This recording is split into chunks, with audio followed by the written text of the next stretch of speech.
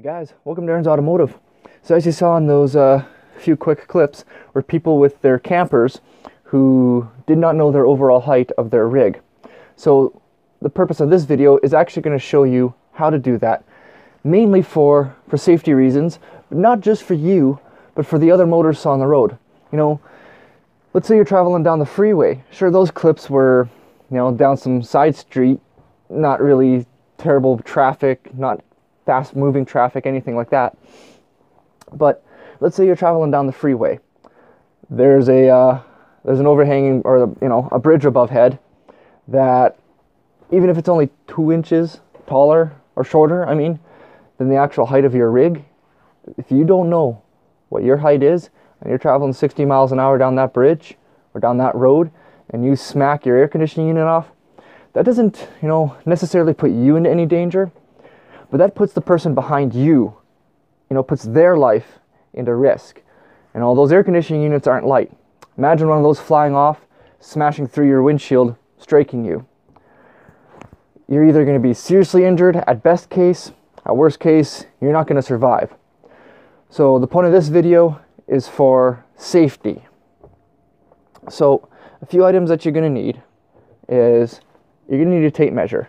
This one's 25 feet, more than adequate for my setup.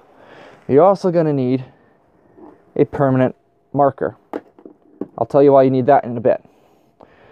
And finally, last item you're going to need, I'll step out here, is a board. This is important. So we're going to put this up on our roof. I going to do it from down here for now. Once I get up there, I'll reposition it. So it's up on my roof. We're also going to take our tape measure and we're going to find the lowest surface of the ground. I'll extend out my tape measure. Now that lowest portion is going to be this step. So, you know, put this into there. Hard to do with one hand. I kind of wish I had a tripod and not just this stupid selfie stick. But that's actually pretty frozen. So, because it's frozen, what I'm going to do is I'm actually just going to measure from this piece of wood here, go up. That's not even grab. But I'm basically going to measure from this piece of wood to the roof, and then I'll measure the distance between here to the ground, and that'll give me my overall height. Unless maybe this cement brick will be enough to hold it. Actually, you know what? I bet you I could just feed the thing down from the top to the ground.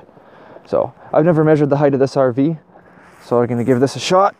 Ah, climb up here, tape measure up there.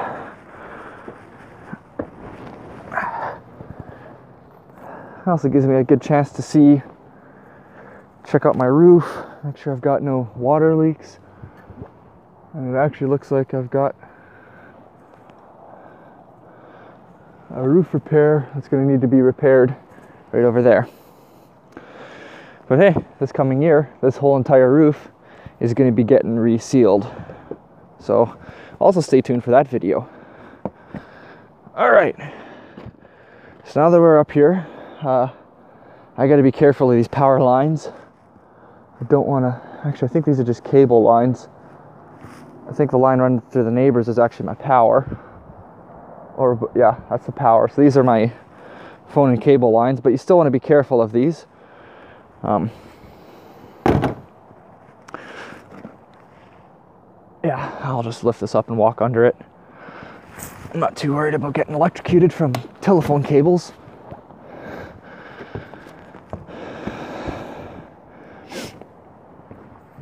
All right, so once you're up on your roof, you're gonna find the high surface.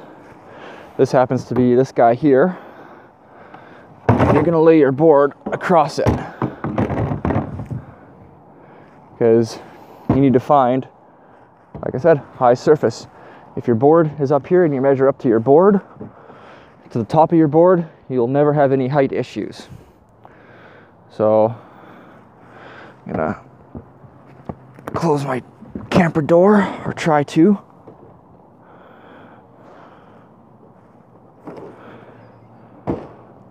Close enough.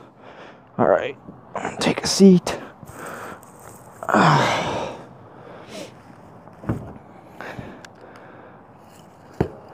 And I have to find a place to situate you guys while I use two hands.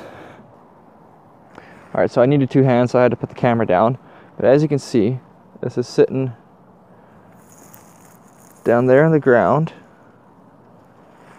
And it's actually sitting on the concrete blocks that my motorhome's parked on, which would simulate a road surface. And if you look at the tape measure, you can see it is uh,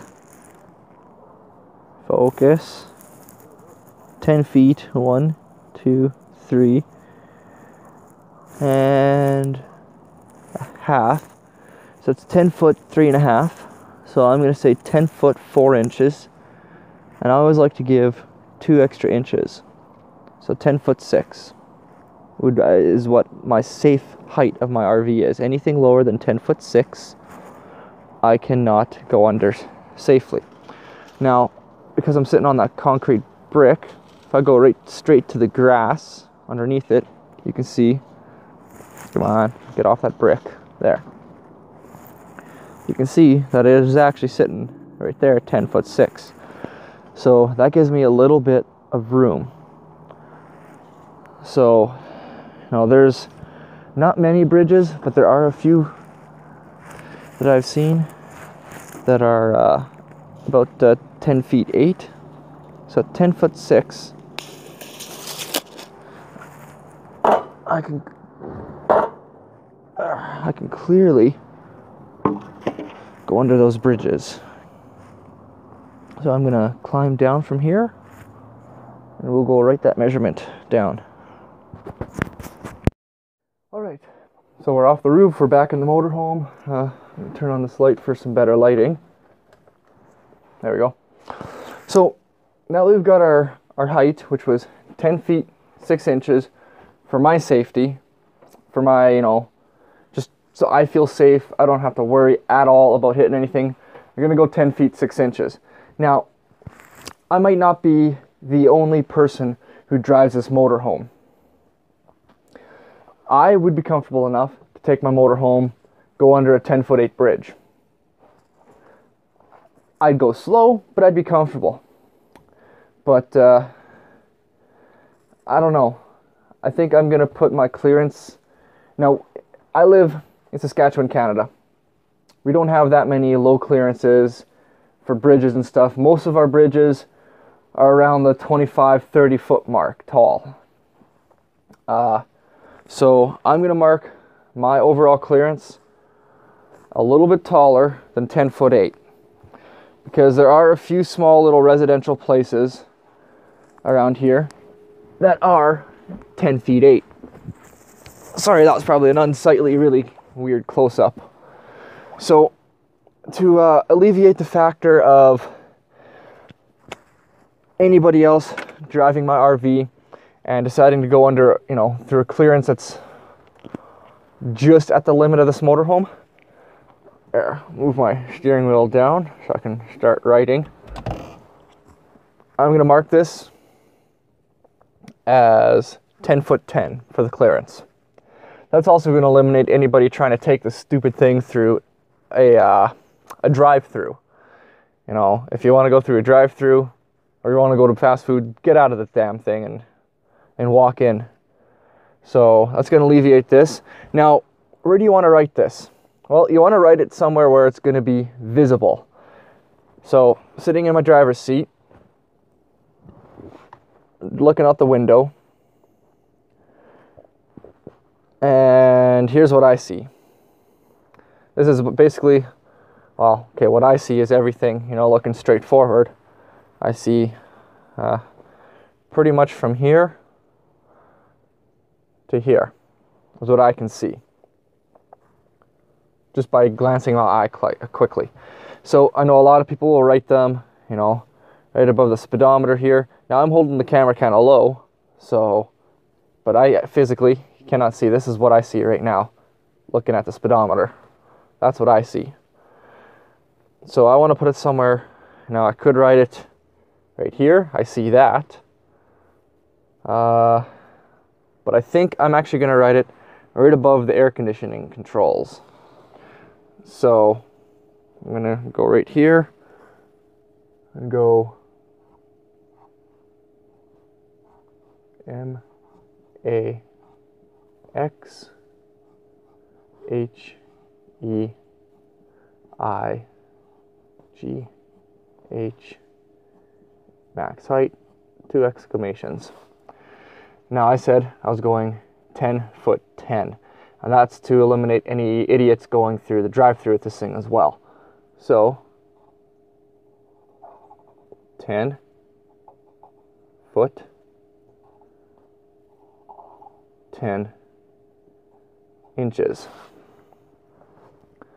That is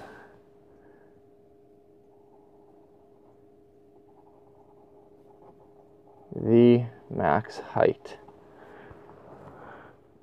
That's, or I guess minimum height that the bridge is going to have to be for anybody to safely, comfortably get through. Because who knows, what if I throw up a, you know, a CB whip antenna or throw that thing up on the roof or I get a satellite dish for camping and stuff. You know, that's going to give me quite a few extra inches, you know, the actual measurement from the ground, from the, you know, road surface, the concrete brick, to the top of that uh, one by four was 10 foot six. So without the one by four, it'd be 10 by five, or yeah, 10 foot five. So essentially, I've given myself five extra inches of clearance. But that's for my own safety. If you guys don't want to go and do that route and you want to just mark down the actual physical height of your motorhome or your camper, cabin, trailer, whatever it is that you have, uh, you guys feel free to do it that way. You know, mark it down as its maximum height then. But I wanted to give myself an extra little bit of leeway, some clearance due to road factors. Who knows? Uh, maybe I'm going to go camping in the winter, traveling. Maybe there's ice on the road, and that raises the road surface a little.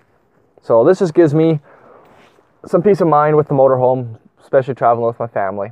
But if you guys in, uh, enjoyed this video, I ask that you give it a thumbs up, comment below. If you want to see more videos, I ask that you hit that subscribe button. Probably going to be, well, I guess this is my left, probably going to be somewhere around here then. Is this the right side of the screen? Yeah, I think that's the right side. If it's not, it'll be on the right side of the screen at the bottom corner. All right, thanks for watching. Bye.